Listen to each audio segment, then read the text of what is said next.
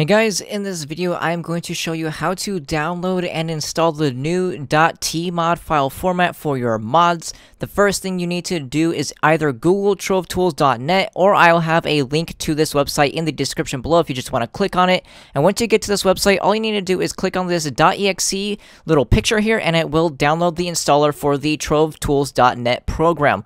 Now, while installing this, it does pop up, you know, as like a little bit of malware here and there, but it's completely safe. Um, it is made from Trovesaurus, and it is the only thing that you can use right now to do this, and it is supported by the dev. So you need to do this, and then once you have it installed, so it's safe is basically what I'm trying to get at here. It's safe, guys you guys know most of your malware programs pop up here and there for stuff that's pretty safe. So the first thing you do when you download it is you will come up right here with the Trovesaurus main page. Now this is a cool add-on or program just to have installed if you play Trove very frequently or if you're like a, you know, you're really into the Trove community. This is a pretty good uh, program just to have because you can see, you know, how long the launcher or the servers have been live. You can also view PTS. You can view the Trovesaurus contest, their news, even though we got that that news lockdown anyways. um, and then, you know, you can see the people that are streaming right now. I think it's everybody. It doesn't just go for people that are only, like, partnered with Trovesaurus or, like, you know, you know, quote-unquote sponsored.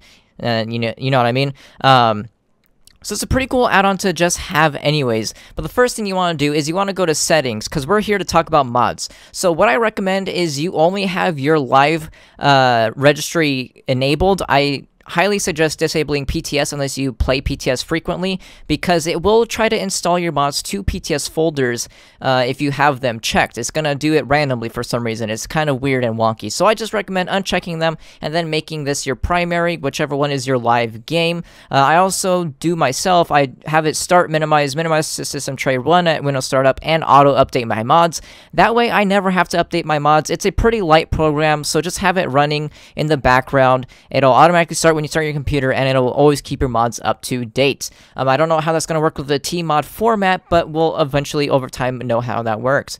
But the main thing we're here to do is my mods. So I have a couple mods installed. None, none of these are in the Tmod format because these two do not work in the Tmod format right now. So we do have to wait for the mod makers themselves to uh, update their mods to the Tmod format, but you can still do it the old way, uh, which we'll go over here in a second as well. But we're going to do it in the Tmod way as well to show off both ways. So first thing you want to do because you're gonna when you install the new update for Trove you're gonna have a completely wiped slate unless you used this program before. If you did like I showed previously and manually installed all your mods all your override folders will be gone. They will be it's a clean slate so you have to go to get more mods. And then from here you can browse the mods. What we're gonna be using is the mini boss radar which is a new mod from Novaz. You guys know Novaz. I've shouted him out on my channel frequently because he does make some awesome mods that actually enhance your gameplay. They don't take away from anything they actually enhance it. They're not not useless. They're, you know, like it says utility, they're awesome. So we're going to install the mini boss radar. So once you install a mod, it's going to automatically take you to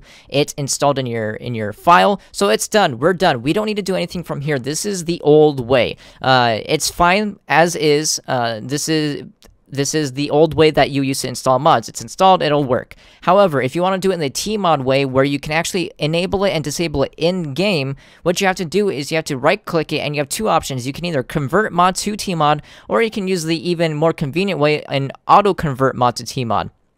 So auto convert mod to tmod is automatically just gonna it's gonna build the tmod. You don't have to change anything. It's gonna do automatically. We're gonna do it the manual way just to show that off. Uh, so we're gonna click. So you right click on it and you convert mod to tmod. So from here you're gonna see how the mod maker uh, built their mod. So you can see all of their uh, effects files. It depends on what it is. If it's costume, it'll be you know a, a, texture file. If it's a VFX, it'll be a VFX file. Particles, particles. You know what I mean. Um, so you can see all of his files that he has here. You can see his author name. You can see what he uses uh, as his picture for in game, and then you can you can change everything. I highly suggest don't touch anything. Um, don't touch anything. All you need to do, because it should be set up by the mod maker, all you need to do is click build tmod, and now it's going to build it, and it is done. We now have a tmod format for this file. Um, it's the same thing as if you right clicked and clicked auto convert what autoconvert does is it's going to bring you to this page. However, it's going to click the build tmod for you. That's all it does. It just clicks the button for you, so you don't have to do you don't have to click that button. So it saves one click.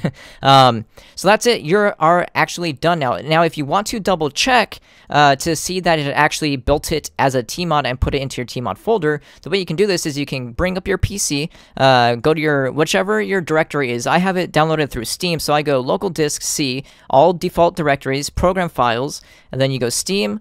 Steam apps, common, and then scroll down. I have a lot of games installed.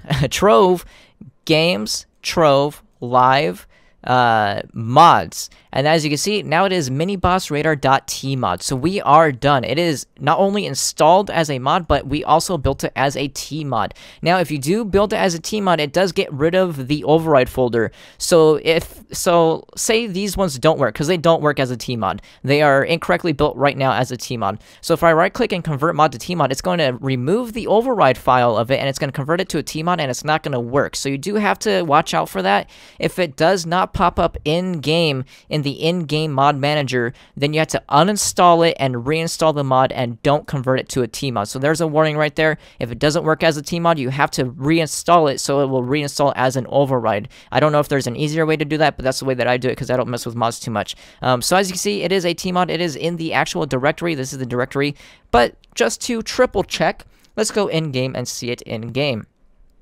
So all you need to do is log in and use the new in-game mod manager. Hopefully most of you are aware of it. If you've seen my patch notes earlier, you know where it's located. All you need to do is press escape, go to mods, and bam, we have Mini Boss Radar by Novaz. He has not left any notes because this is his new and kind of like beta-ish mod. Um, it's, like really buggy and stuff. But, uh, you know, all you need to do is click disable. If you want to disable it, it says disabled requires restart. If we restart the game, the mod will not be enabled at all, but it will still be installed. So this is why the in-game mod manager is pretty cool. You could just do everything through uh, trovetools.net. This is the exact thing that trovetools.net does, except for you can do it in-game. So that's up to you if you want to do this. Like I said, you can just leave it as is without creating a Tmod format, but if you want, you can enable it and disable it in-game, and you know, you can see things that way. And hopefully, if you guys use this more often, then Trion will actually flush it out to be more useful, so that way you would actually want to use it over the trovetools.net program itself because you might as well just have the program up all the time anyway, so there's no point in using this. Just in case though, that's what this video is for. So I hope you guys enjoyed it. If you did, make sure to give a like, and I will see you guys next time.